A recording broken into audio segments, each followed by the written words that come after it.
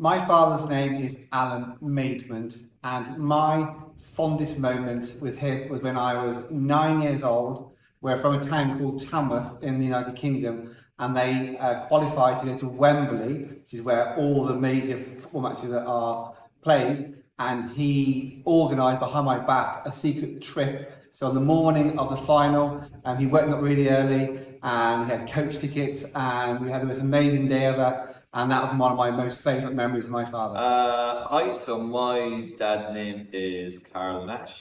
Um, I suppose a good memories that I have is going to uh, football games with him. So especially me when I was younger, playing a lot of football, going in the car with to games, um, and then talking about the games after and stuff, and him giving me advice uh, during the games, sometimes positive, sometimes negative. But um, yeah, that'd be a really good memory that I have uh, with my dad.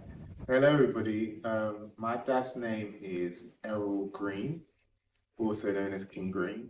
a favorite memory of my dad. When I was your age, my dad used to give me pocket money, £6.50 a week. He supported the football team Tottenham, also known as Spurs. Now, in order to get my pocket money, I had to tell my dad, my uncles, my teachers, my friends at school, everybody that I supported Spurs. I could not say another team I would not get my pocket money. And the biggest joke is I didn't even watch football. So my father is uh, is Paul Christensen, of course, um, and his probably biggest influence in my life uh, is probably through food, um, as he was the chef in our house, um, and he used to cook all the food, and he had this fantastic ability to go into the fridge and look and scan the fridge and make some incredible Mediterranean dishes uh, out of there, which always blew my mind because every time I look in the fridge, I just see chocolate and I eat it. My dad's name is Del Ishida, and he is living in Canada now. One of my favorite memories as a Canadian growing up there in Toronto is he would come to our practices and, and help coach our hockey team. Every morning he would wake up early, six, seven o'clock in the morning, and we would get into the, the cold car and he would drive us to the practice and help coach um, all of my friends growing up. So we played hockey together, uh, father and son, for almost 10 years before I moved on to university. And those were some of the best memories of my life. So I love him for that, for being there for us, and for coaching us and being an awesome dad.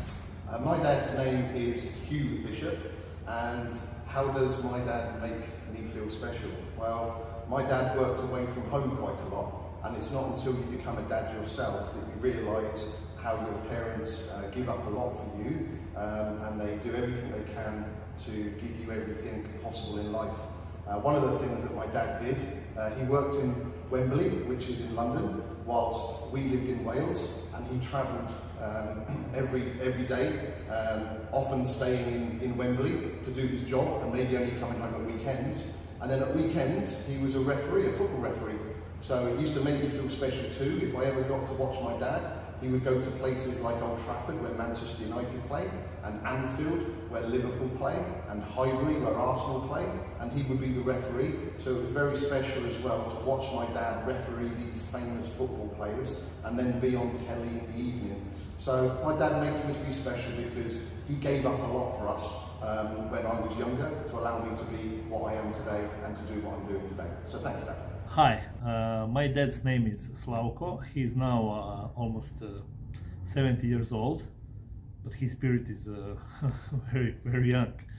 Uh, he likes to speak with me when we actually because we don't see each other that often last 10 years but when we see each other he likes to speak uh, with me about my childhood and compare my childhood with his gra grandchildren childhood um, when we are all there, his favorite thing to do is to make barbecue for everybody. I like to do it as well, but I'm not uh, the master as he is.